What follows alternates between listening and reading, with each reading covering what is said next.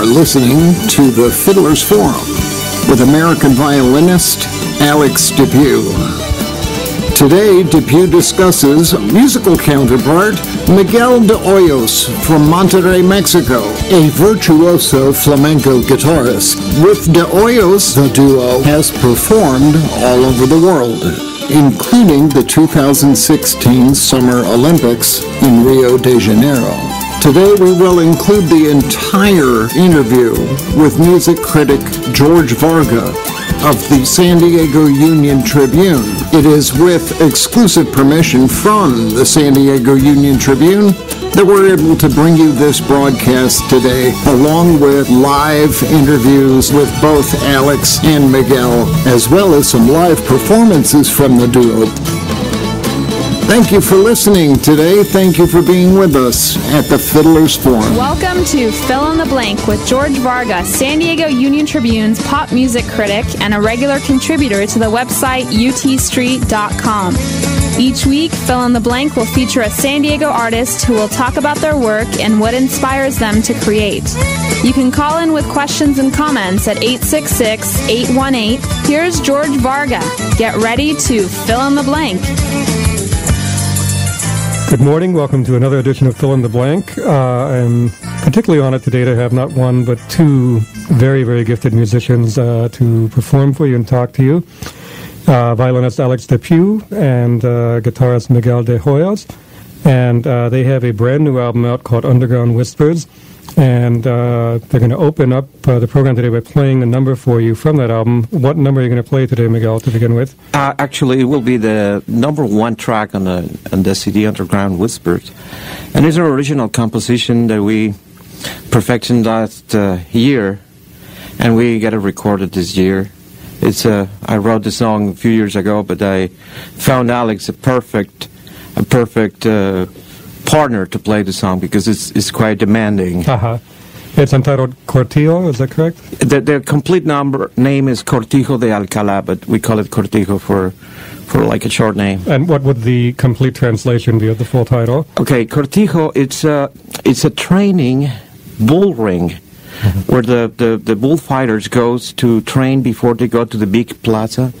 Cortijo is a small one that usually is in a ranch of the men that, that grows the bulls for the fighting. Mm-hmm. It's like they call it ganaderia when they have those those bulls that are going to fight. Okay, there is a training a training bull ring for both, either the the bullfighters mm-hmm. and also the animals. They learn how to how to to fight. So are you the matador and Alex is the bull, or no? Not exactly. But this, this song came out uh, when uh, I was playing a concert in a place called Ajusco in Mexico State, mm-hmm. like 12 years ago. And it was about that because there was a big, a big fiesta of bullfighting and, and all the matadores were there in that fiesta and I was playing for them. And then I was playing with another band which is, is not together anymore. It's called La Guitarra por el Mundo. We were playing together and that night, we come up with this song. I wrote the song, and then I tell, I'll tell everybody, okay, this is the song, this is how it goes. So we perform it that night for the first time. And I name it after the place. The, mm-hmm. the place we were at, it was El Cortijo de Alcalá. All right, well, without further ado, Alex DePue and Miguel de Hoyos doing Cortijo.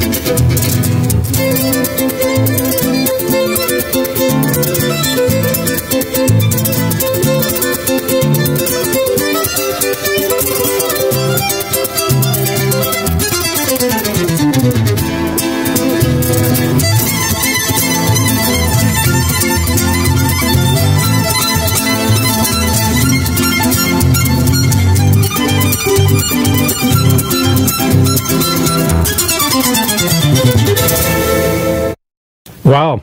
Cortijo. Early. It's early, George. it's too early. What an opening number. Uh, Alex DePue, Miguel de Hoyos uh, performing Cortijo on Fill in the Blank, the opening cut from their new album, Underground Whispers. Um, a lot of my favorite music uh, has a quality where you can't really tell where the arrangement ends and the improvisation begins, and where the improvisation ends and the arrangement resumes. And that was a perfect example for me of that. Um, talk about how easy or difficult it was to to ob- obtain that quality in your playing as a duo. As a duo, hmm. Well, things happened kind of magically between the two of us. When we first played together about a year and a half ago or so, uh, it didn't take very many notes to figure out that this was a, a match made uh, in a musical heaven, so to speak.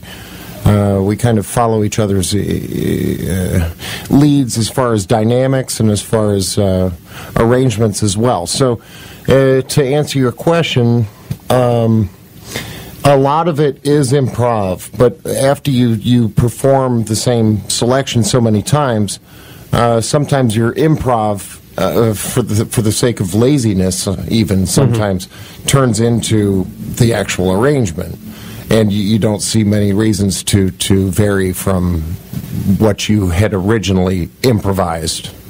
Am I making sense? You are. Okay. And yet, I take it it wouldn't be note for note every time you play it. No, no, certainly not, and definitely with the, it depends on the song. You know, when we do Autumn Leaves or a couple jazz standards, you know, throughout the course of our show, uh, that those will certainly change on a nightly basis. Now, you got together about a year and a half ago. Uh, when and how did the two of you team up? Well, it was. Uh, we, we actually met like yeah a year and a half, almost two years ago, Where? in back in Baja, Baja North, about uh, between Rosarito Beach and Ensenada. There is a little place down there, and I was working there by that time. And then Alex was there with his cousin, and his cousin introduced me to Alex. He says, "This is my cousin. He plays fiddle. He's a great fiddle player." And I, I got to say the truth. I was not interested because I. You know, I've been introduced to many musicians all the time and so forth. But And the last thing, I'm sorry to interject, but the last thing a musician wants at the end of the gig is to uh, get the guitar back out, And have an unknown guy come up. and some kid's gonna, you know, punk kid's gonna play the fiddle. yeah, but actually, the thing is, uh, okay. Finally, I said, okay, let's do it. Let's do it. So we did it. What did you perform? Uh, it's, it's, it's, a story. It's because first time you ever met someone, another musician, and said, okay, let's play something that everybody in the, in the world knows. Let's play Besame Mucho. Okay, let's play Besame Mucho. And say, what key? Whatever key. When a musician says whatever key is, is that he knows his instrument, so he can play in any key. Then after that, I start playing, okay, this is...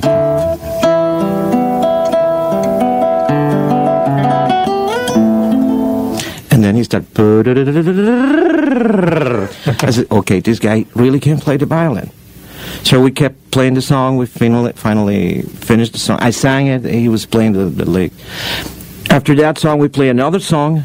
First time for everything. Mm-hmm. By the third song, I said, Alex, can you play something by yourself? So he started playing, and he just blew me away. He says, he is the greatest violinist I have ever seen. That close, you know, sitting next there. Immediately, I thought we need to do something. But then he got really busy with Steve Vai. That's right. You did a world tour with uh, Steve Vai. That's correct. Yeah.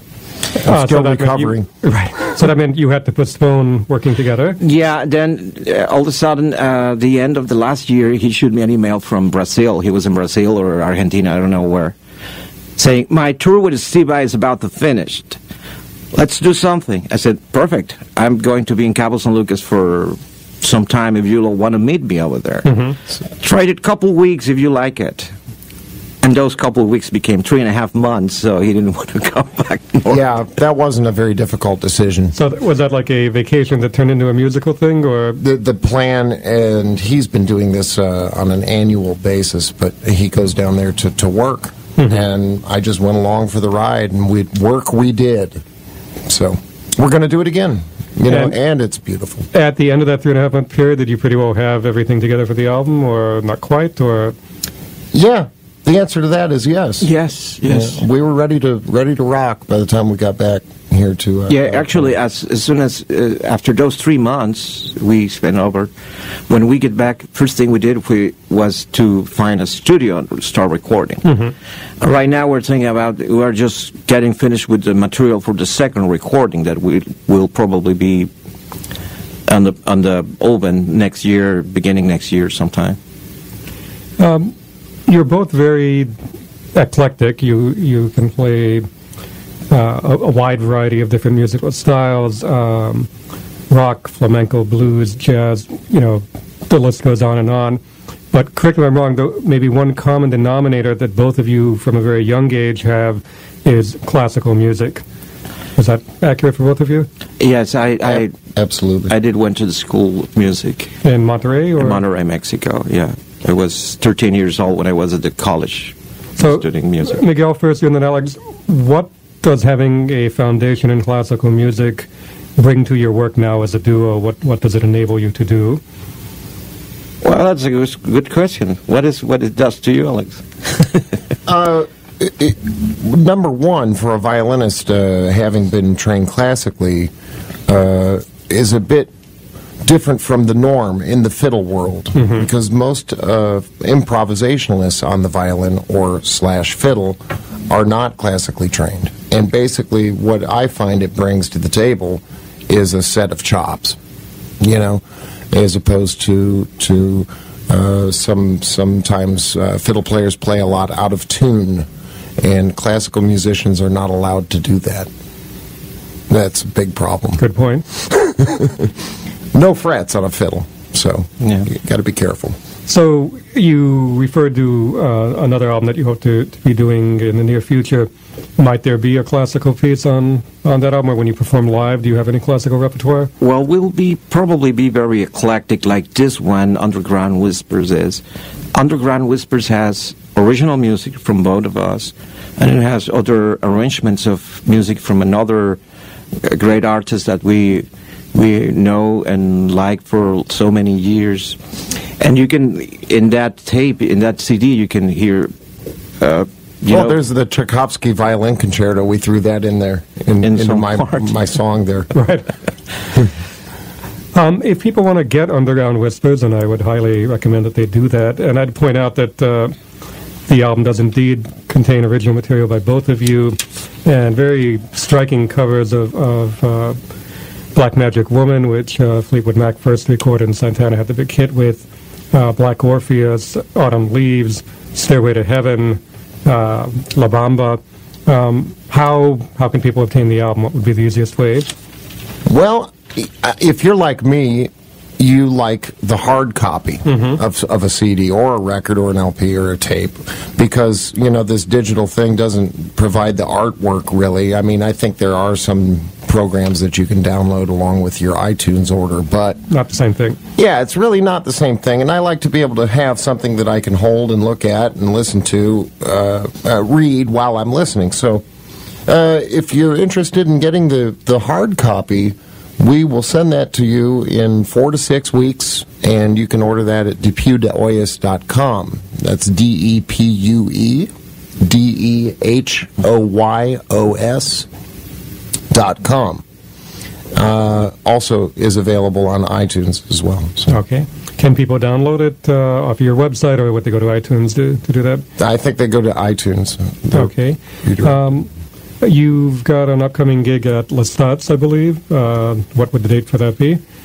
Uh, Lestats? do you know? November 26th. November 26th. Okay. I just never heard. Wow. Okay. So now it's all coming back to me. We're going to do Lestats on the 26th, and then we're going to continue heading up north for an, another performance at a wonderful little venue. I, I wanted to mention this on Oh, go the air. ahead. It's called uh, the Coffee Gallery. It's run by Bob Stane, and that's in Altadena, California, just outside of L.A. Plenty of milk there, I would hope.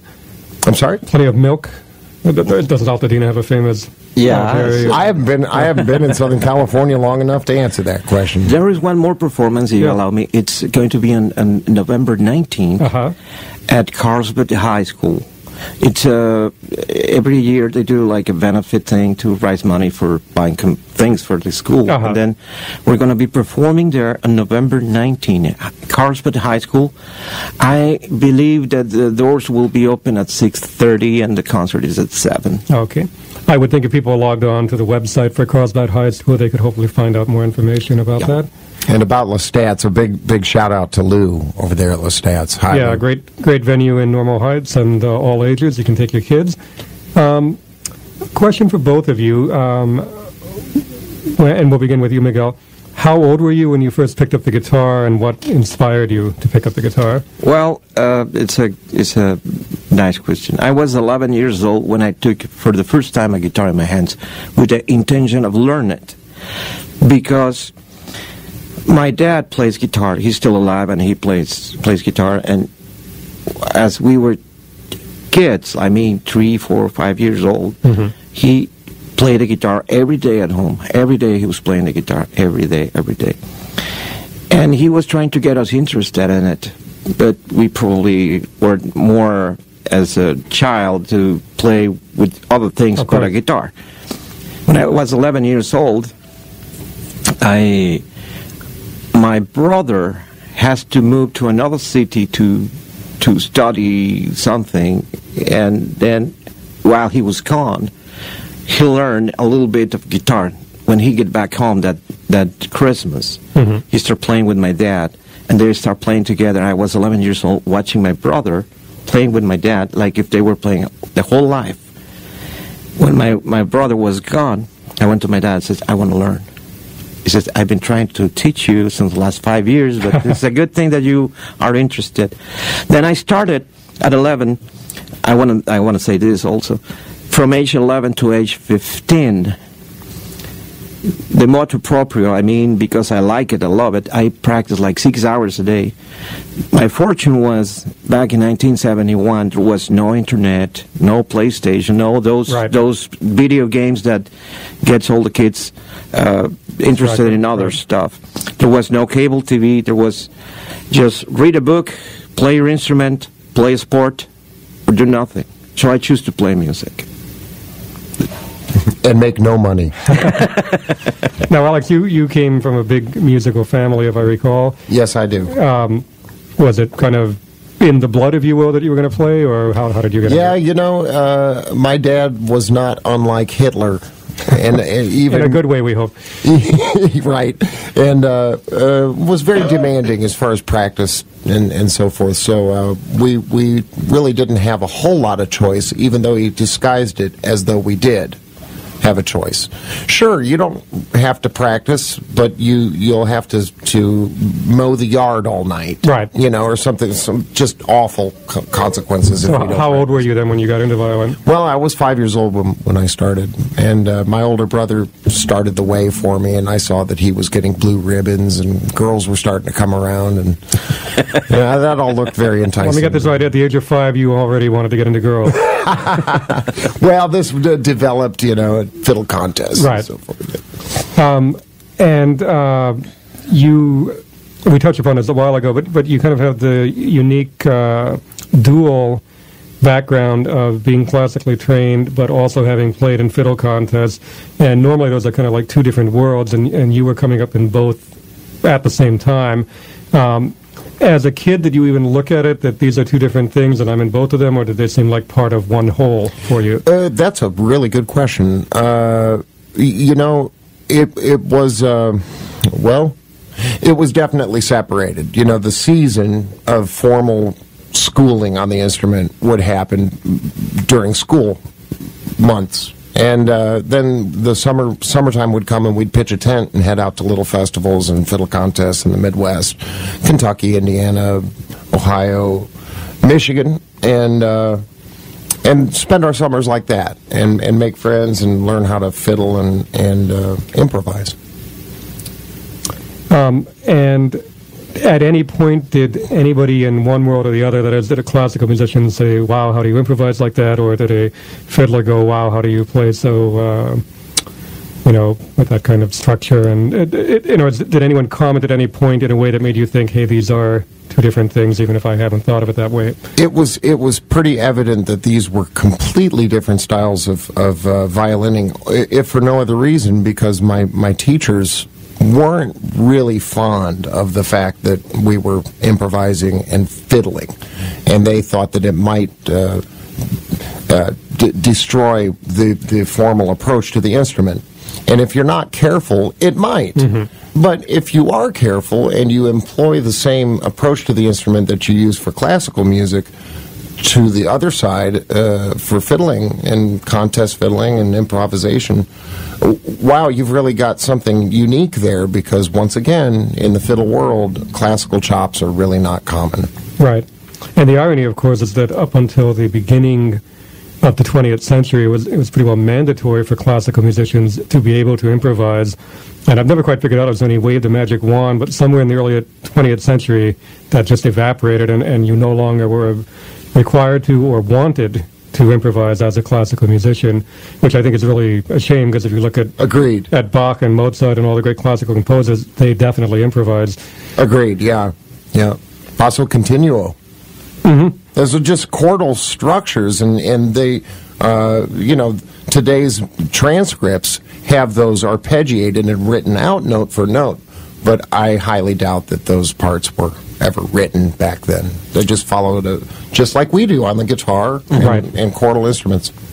You're listening to Fill in the Blank. Our guests today are violinist Alex DePue and guitarist Miguel de Hoyos, who are uh, uh, going to perform later in the program again and have a terrific new album out called Underground Whispers.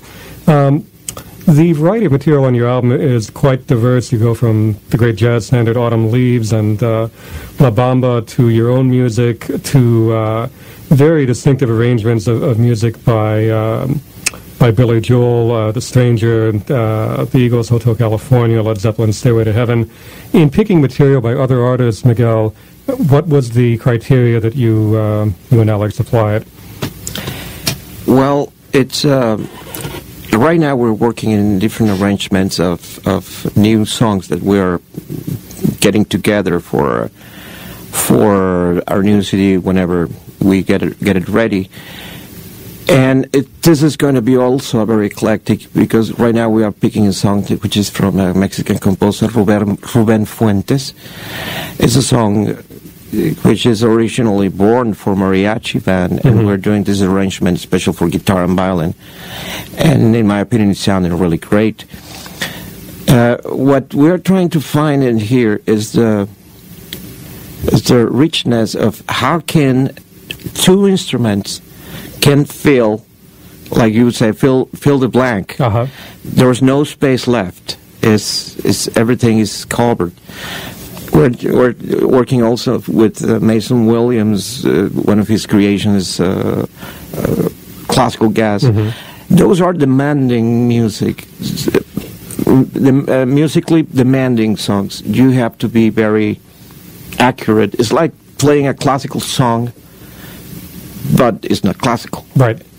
And it, it demands the skills that you learned at the school of classical music demands those skills to be able to play those songs and but they are still still pop music it's popular music that you can hear everywhere here and there right little local trivia mason williams back in the 1960s was stationed in san diego in the navy and then when he got out of the navy he recorded classical gas and went on to uh, to fame and fortune um, given the variety of different music uh, idioms that the two of you perform together. Alex, I'm wondering, do you have a target audience, or is it really anyone and everyone? It really is anyone and everyone. You know, this is one of the few acts that's alive and well today where you can. It's there's something for everybody. I mean, from from the young kids are, are really enjoying these arrangements of, of the old great rock anthems, and we chose those for a reason. You know, the, you can't get enough Stairway to Heaven. We all know that. and uh, uh, Dust in the Wind and uh, Hotel California. So, um, what was the question? Uh, who was your intended audience? And you pretty oh, well covered it anyway. Yeah, everybody. Eclectic audience. Uh, we're, we're trying to, to appeal a little bit more to the younger kids Right. now. You know, We're going to be back after a news break with more fill in the blank from Alex DePue and Miguel de Hoyos. Stay tuned.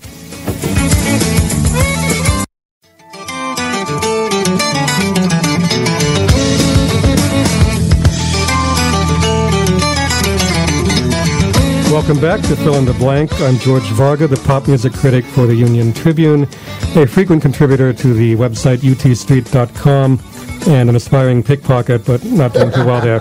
Our guests today on Fill in the Blank are uh, the great violinist Alex DePue and his equally gifted guitar playing partner Miguel de Hoyos. Again, thank you both for being here today. it's a pleasure. Um, you will next be able to hear them perform in San Diego November 19th at, was it Carlsbad High School? Carlsbad High School. and November 20th at Lestat's in uh, Normal Heights. And uh, depending where you live, I would highly, highly recommend you to get to either or both if you can to hear terrific music uh, from their new album, Underground Whispers, which you can get by going to their website, www.depuedehoyos.com, D-E-P-U-E-D-E-H-O-Y-O-S.com, uh, or going to iTunes, and you will hear a wonderful variety of music performed at a really uh, impeccable level of musicianship. Um, I asked both Alex and uh, Miguel to bring in uh, a track or two by artists that they have been inspired by over the years.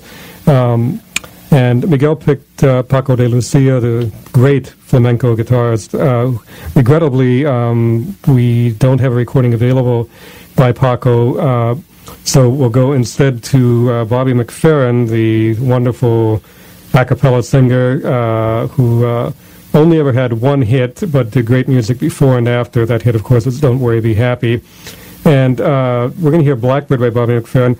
And Alex, I'm kind of intrigued that you, as a violinist, would pick a vocalist as a, a big inspiration. Could you elaborate on that a little bit? My father's uh, best friend growing up was the the conductor of the choral program at Bowling Green State University. My dad is also a full professor at that same school, so that uh, choral music has always been a major part of my life, and I've even coached uh, quartets and been involved with some singing groups myself. But as a violinist, we never get to sing, and uh, I'm a little bit envious frankly. And the, the the way that I I really like to relax and get away from from work is to listen to to fine vocal groups like like uh well like the King Singers, like Manhattan Transfer, like uh, Take Six, Right. Max and Q. Max Q is a, a brand new barbershop quartet, and they, they may actually, well, they're the international ch- champions right now, and two of those guys are from Bowling Green State University. How about that? So we have quite a, we we can brag all day long about the choral program there in, in uh, Bowling Green. And I thought Blackbird by well Bobby McFerrin's version was interesting in that uh, it is of course the Paul McCartney penned Beatles classic, and yet uh, on his last few tours when McCartney played it, he talked about how he was particularly inspired by Bach and, and Bach's Bourrée and played the guitar parts to both to show how Blackbird was inspired by Bourrée. And so the fact that both of you have a classical background kind of ties all of that in together. Uh, without further ado, why don't we hear Blackbird by Bobby McFerrin? Ex- yeah, Blackbird by Bobby McFerrin.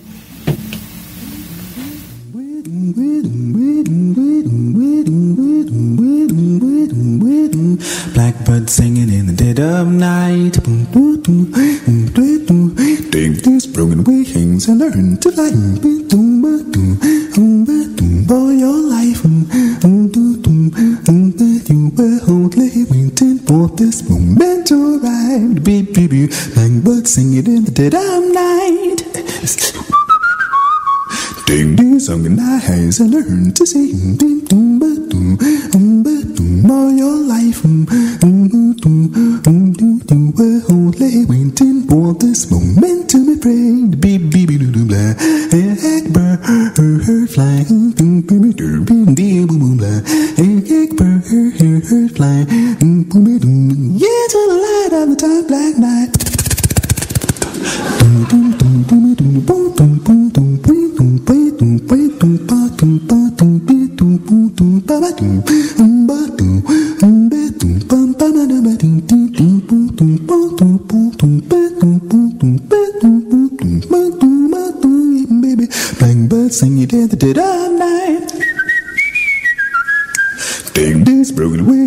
Learn to fly.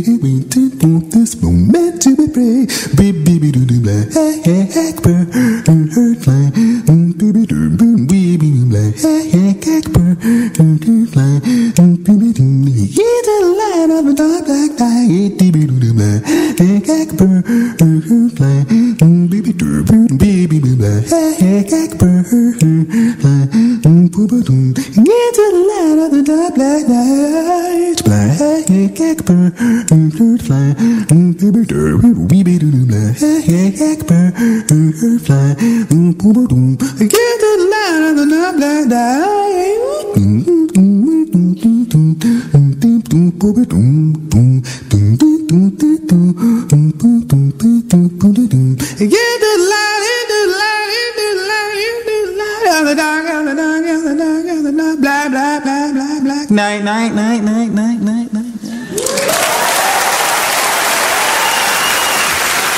All right, Bobby McFerrin on Fill in the Blank, uh, selected for you by Alex DePue. Um, Alex, you've worked uh, with uh, Chris Cagle, the country star, and we alluded earlier to the fact that you did an, uh, a world tour with uh, Steve Vai, the uh, virtuoso guitarist uh, who first came to the fore, I think, as a teenager by before he even performed with Frank Zappa by transcribing Zappa's incredibly difficult music, then becoming his quote stunt guitarist, um, and then going on to work uh, with uh, a wide array of people from uh, from David Lee Roth on, uh, and of course doing many solo albums on his own. Um, talk about working with uh, Steve Vai, and I would like to point out to people that if they go online, they can see a pretty jaw-dropping video of you and uh, Steve Vai going head-to-head. Well, I appreciate you saying that.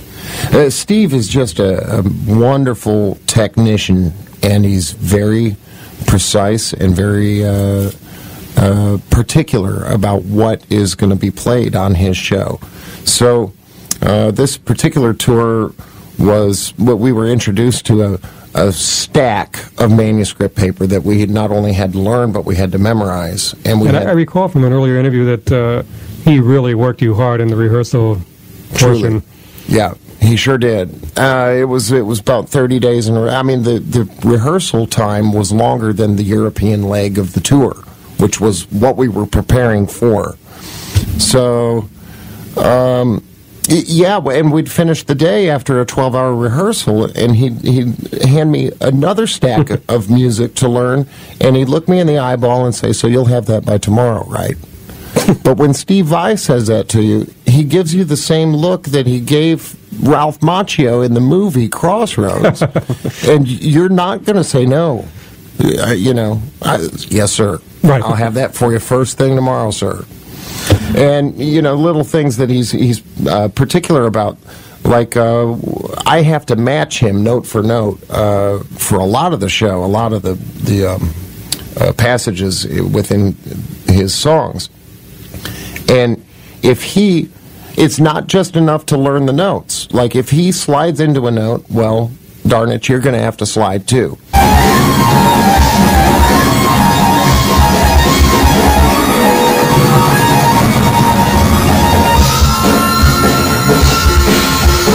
So you might have to change your entire fingering pattern and your bowings or whatnot to accommodate that, but you will ma- make it happen. Meaning that beyond listening very attentively, you have to visually pay a lot of attention as well, or? You can hear what what's happening, but uh, sometimes when you're learning so much material in such a short amount of time, you might look over some of the intricacies that are involved with, especially with Vai's music, and um, you know we we don't want to let that happen.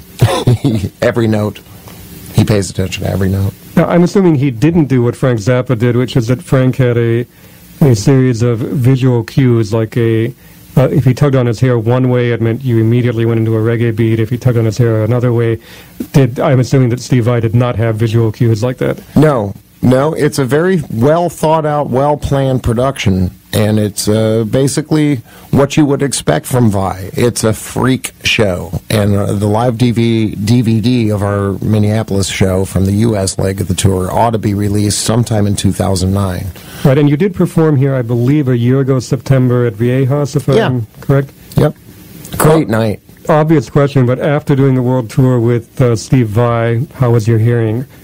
How was my hearing? Uh-huh. Well, that's another good question because uh, our our bassist Bryan Beller, bless his heart, Who plays with Mike Keneally, a great San Diego guitar player as well? Yes, uh, has a, a a bass cabinet called the Megaliath, and I'm my placement on the stage is right next to him. So basically, I had 16 10-inch speakers aimed directly at my face Wonderful. for the entire tour.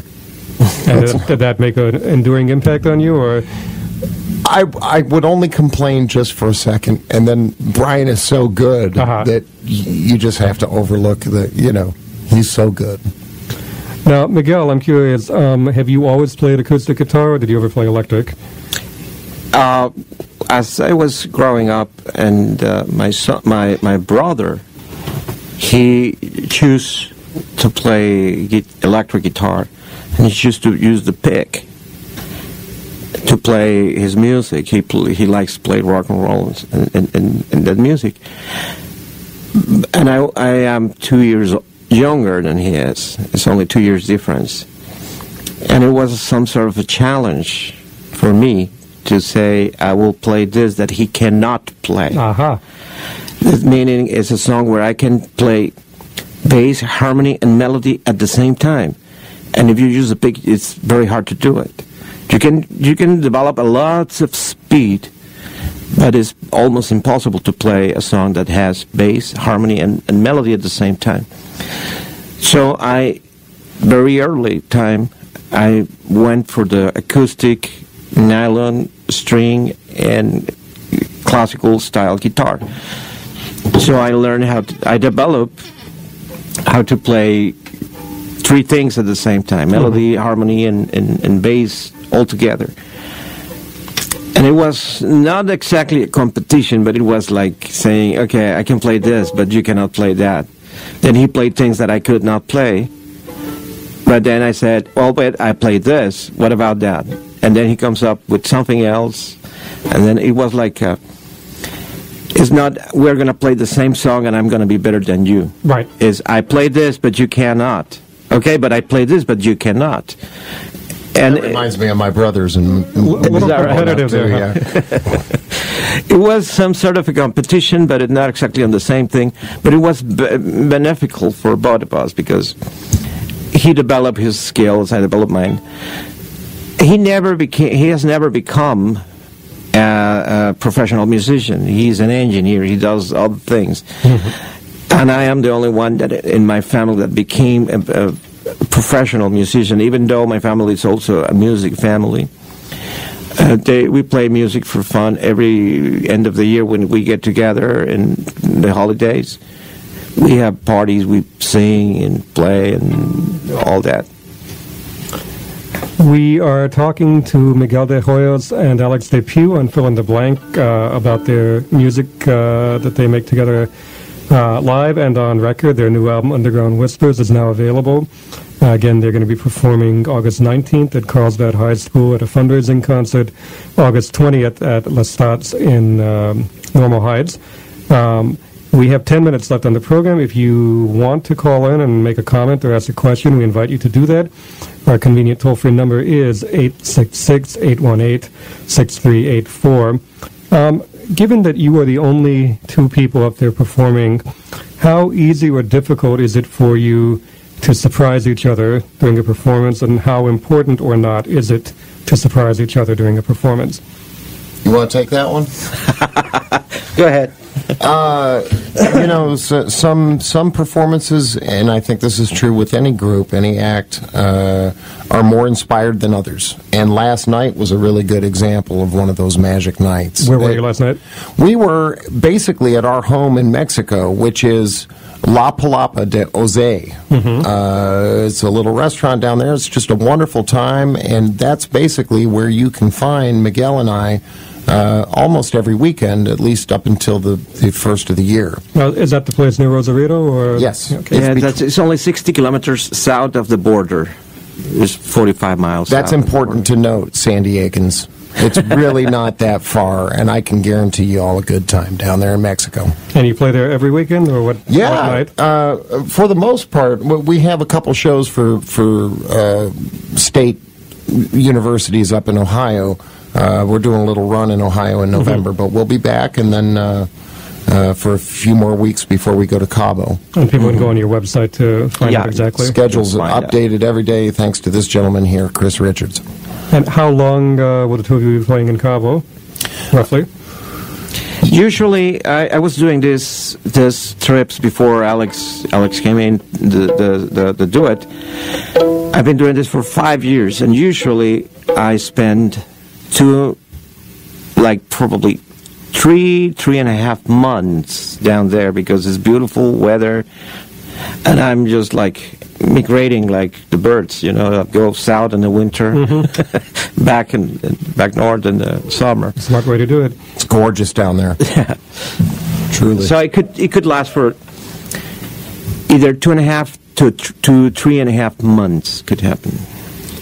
Looking ahead, um, you've got uh, a really impressive debut album, Underground Whispers, out. You're already uh, at work on a, a follow-up album. Uh, looking down the road, what do the two of you hope to accomplish as a uh, duo? Well, We'd like to rule the world, George. but uh, I mean, I hope we have the same, the, the same idea on this. But uh, ultimately, I see happening is, uh, you know, doing uh, performances that are are more. Uh, educational sometimes, uh, it- you know, that's just one area that we could branch into and do these these uh, universities and colleges and high schools and so forth. But ideally, you know, Lincoln Center doesn't sound so, so bad. Not at all. Uh, Carnegie Hall, Philadelphia, we've already done a little something at Verizon Hall there with uh, in conjunction with the Philadelphia Orchestra. Unfortunately, I haven't been able to introduce Miguel to that scene quite yet, but working we're on working on that, sure. yeah, and in my side, I've been going to Europe, to Germany specifically, to play concerts since 19, pardon, 2003. I go and play concerts in Germany every other year, and I have a little tour over there. And um, I did have a tour last year in, in May, play 19 concerts in 21 days. That Wow. was crazy. 20, 19 concerts in 19 cities. Were you driving or going by train? We were or- driving around in the Autobahn, no speed limit. That's right. Five five thousand uh, fifty six hundred kilometers, which is kilometers the measure in there is around four thousand miles, and only in twenty one days. This year is not, but 2009 I have another tour throughout uh, Germany, and I wanted to get Alex involved in that one. I still to see what is going to happen to that one, but usually it's what has been the concerts tours in, in Europe, Germany, Czech Republic, Holland, Romania, those places, music is our kind of music is very well received. It doesn't mean that it's not well received here, but it is. It has a special place in those in those countries which are Well, very musical. I, I, I hesitate before I say this, but uh, it, it is a fact, you know, that, that uh, in the U.S., I'm afraid musicians don't quite get the, the same level of respect that they do in every other country in the world. I have to agree. I grew up in Germany and lived there 11 years, and I, I can confirm. So, sprechen Sie Deutsch? Yeah. In Europe, you know, if you're carrying a fiddle case, you almost get approached uh, by people as though with the same respect that they would show a doctor. You know? one of, to my mind, one of the, the most talented contrabassists in the world is Mark Dresser, who now teaches at UCSD. And I remember an interview I did with Mark 20 years ago, and he had just had a uh, a Fulbright scholarship, I believe, to study in Rome with the great classical contrabassist. And I remember Mark telling me that when he got to Rome, it was the first time he had ever been rented an apartment because he was a musician. okay, there you go. Our guests today on Fill in the Blank have been uh, the violinist Alex DePue and his guitar playing partner Miguel de Hoyos. Um, I would urge you all to go out and get a copy of their debut album, Underground Whispers. Do you want to play I will repeat that uh, they're performing on November 19th at Carlsbad High School at an All Ages benefit concert, and the following night on November 20th at Lestat's in Normal Heights, also an All Ages venue. Uh, very happily, they're going to conclude with another live performance here in our studio uh, of a song featured on their album, but done in a way that I guarantee you you have not heard done before. And correct me if I'm wrong, you're going to be doing The Stranger by Billy Joel. Is that what you wanted to do? Well, thank you both for being here. Tune in again next week at 11.30 to fill in the blank. Thank you very much.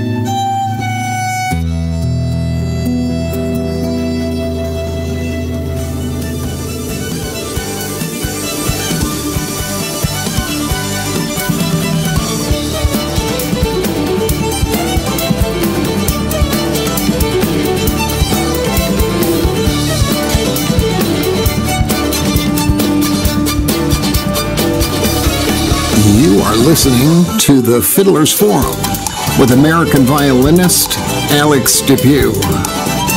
Thank you for listening today. Thank you for being with us at the Fiddler's Forum.